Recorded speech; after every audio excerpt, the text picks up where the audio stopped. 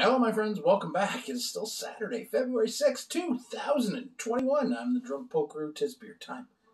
So, my friend Paulie G and I exchanged beers again today. Again, we don't trade beers.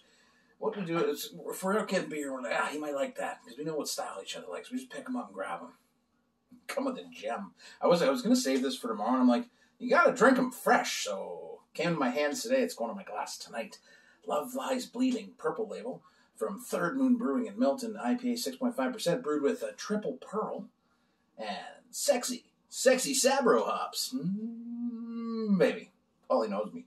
Got some alt beer, some stouty stouts. No doubt, baby, it's German pils in there. He gets me. He gets me. Now we get each other, man. It's fun. It's good. I can't wait till we can drink together. Jesus. You know what? Our friendship has blossomed during the during the pandemic. Can't hang out. It's the hardest thing. Uh, oh, these guys make bangers, eh? Oh, Jesus. Uh, cheers. Just, I'm getting lost in the beer. I'm like, it's citrusy and there's coconut, berries, a little bit of spices. All right, it's going to a cheers, my friends, to the third moon and to friendships. Thank you, Paul.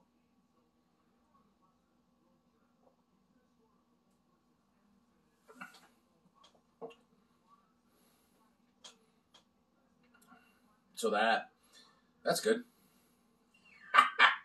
ah, ah. What do you expect? Third moon. We've come to expect this from third moon when we get third moon beers. They're just they're they're fantastic. The creamy, pillowy, soft, pithy bitterness, dank, um, grapefruit, orange, definitely orange, cocoa nut, berry. There's a little bit of spiciness in there too, hop spice. Um, that probably comes from the triple pearl. Uh, it's there's a little bit of, of lemon lime too in in the undercurrent there.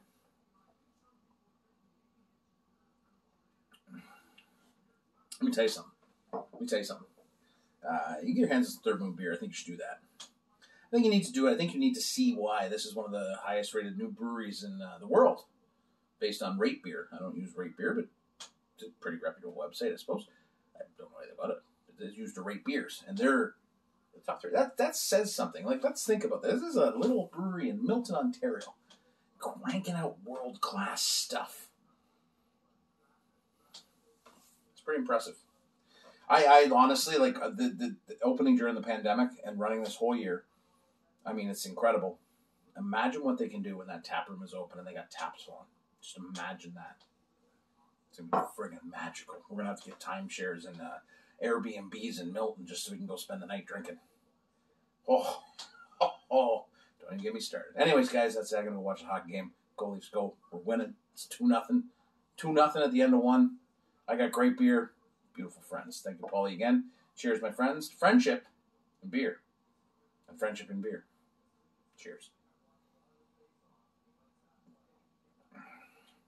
So, it's ridiculous. Like, it's ridiculously good.